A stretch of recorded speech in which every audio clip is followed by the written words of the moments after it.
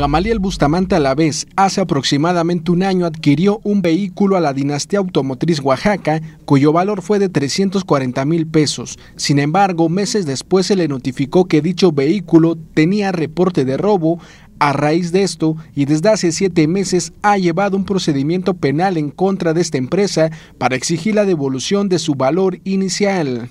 Sin embargo, ya a decir del afectado, la Procuraduría de Justicia del Estado de Oaxaca, así como el gobierno estatal, no han fincado responsabilidades y su caso teme que quede archivado.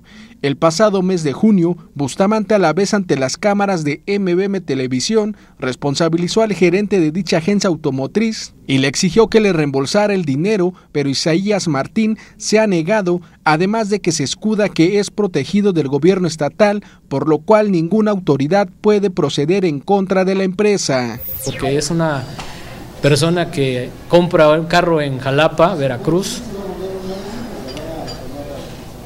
y las siguientes personas pues, realmente están en las facturas, vendedores, otra persona que aparece en una refacturación que nunca tuve en mi poder hasta el día de hoy, que, que estoy presentando, que es una refacturación de los famosos outsourcing que cuando quisieron ubicar el domicilio fiscal de esta persona, no existe, no sabemos los antecedentes de la misma empresa.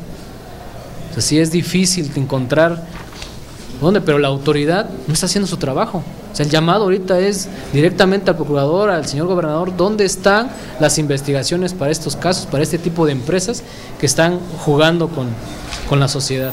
Ante esto, la Confederación Revolucionaria de Obreros y Campesinos del Estado de Oaxaca se ha solidarizado con su caso, los cuales amagaron con protestar a las afueras de dicha empresa para exigir el reembolso total y el pago de daños, los cuales ascienden al medio millón de pesos además de que alrededor de 500 transportistas afiliados en la parte trasera de sus vehículos pegarán carteles en contra de la agencia automotriz. Para ellos es lo normal que lo haga. Mucha ciudadanía no habla, no dice por lo mismo, el miedo, el miedo.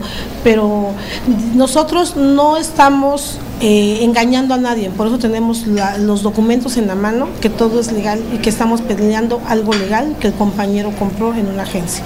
¿sí? Y como dice el compañero, la agencia el gerente se ha portado muy, muy déspota y que hazle como quieras, tengo respaldo de gobierno, gobierno no me hace nada, entonces nosotros queremos dejar bien clarito que gobierno, si lo respalda, pues que le diga pues que nos paguen, ¿no? Nosotros nada más queremos que nos pague el daño y no hay ningún problema. Con imágenes de Alan Ramírez informó para MBM Televisión Irán Sánchez.